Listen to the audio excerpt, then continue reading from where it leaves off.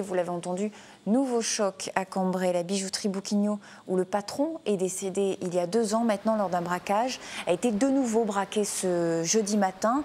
Trois individus se sont introduits avec violence dans la bijouterie lors de l'ouverture, agressant la patronne, la veuve d'Hervé Bouquignot. La commerçante qui avait décidé de poursuivre l'activité à la mort de son mari a été blessée au bras et a été transportée à l'hôpital de Cambrai. Ses jours ne sont pas en danger, mais elle est bien sûr très choquée. Les malfaiteurs sont en fuite.